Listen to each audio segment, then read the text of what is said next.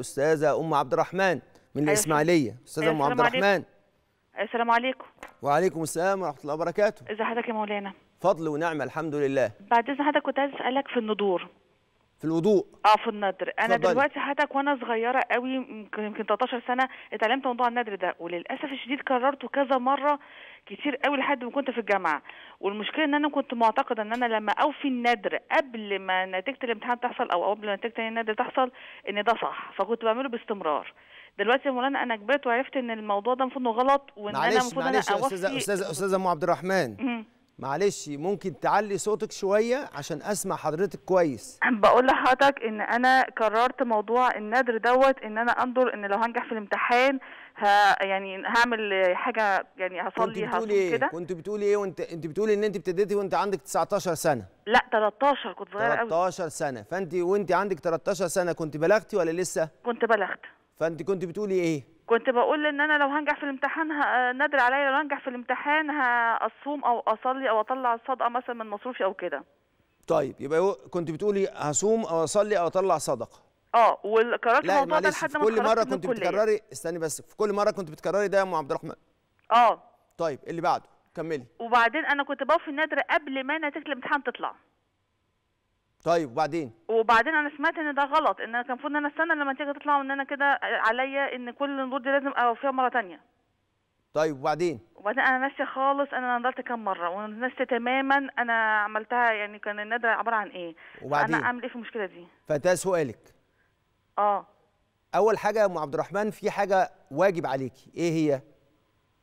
التوقف عن الوسواس. التوقف عن هذه الطريقة في التفكير. سمعاني يا أم عبد الرحمن صح؟ حضرتك آه طبعا. وشوف أنت استغربتي ده واجب عليكي. الذي فعلتيه أرجوك تتوقفي عن القراءة في آه، السوشيال ميديا وجوجل فيما يتعلق بهذه المسألة أنا هجاوبك وأنت ذهبتي إلى قوله تعالى فاسألوا أهل الذكر إن كنتم لا تعلمون. وخلصنا. أنت وفيتي ما عليك. النذر كان في ذمتك وأنت فعلت ما كان في ذمتك. أنت التزمت بإطعام المساكين فأطعمت المساكين. حتى لو أطعمت المساكين قبل حدوث الأمر ده هو انت ذمتك بقت مشغولة في ده. فلما عملتي ده فانت عجلتي بده زي بالظبط. انت بيبقى عليكي زكاة. الزكاة بتجب عليكي لما يحول الحول. فاديتي زكاتك قبل الحول. العلماء بيقولوا آه لأن أنت ما زلتي خلاص من أهل هذا التكليف. فلو أنك أنت عجلتي الزكاة زي ما عند الشافعية قبلها بسنة خلاص زكاتك مقبولة.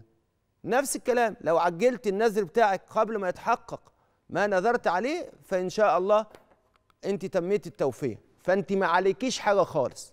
خلصنا؟ أنت لسه معايا يا أم عبد الرحمن ولا لأ؟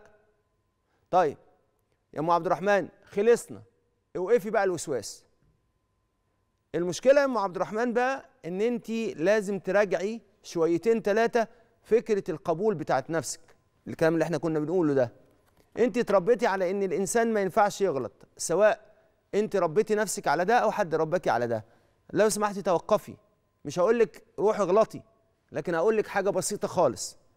إذا وقع منا الخطأ فإحنا في حضرة مولانا وما أصبحناش ملوثين. فأنت دلوقتي انسي بقى التفكير الكتير ده. التفكير المفرط ده اللي بيسموه ال overthinking انسي ده بقى خالص. وملكيش دعوة بده. وخليكي في انك انت تطوعي الوقت اللي انت بتفكري فيه في الحاجة اللي انت عملتيها من 13 سنة عشان تلاقي حاجة تفسر لك هو انت ليه كده حاسة ان قلبك مش معلق بالله لأن انت لازم تغيري تفكيرك ومعاملتك مع الله سبحانه وتعالى. ربنا مش متربص بيكي خالص يا أم عبد الرحمن. يلا توكلي على الله واحمدي ربنا على النعم الكثيرة التي عندك وانطلقي في عبادة ربنا الذي يحبك والذي يقبل ما تفعلين توكلي على الله.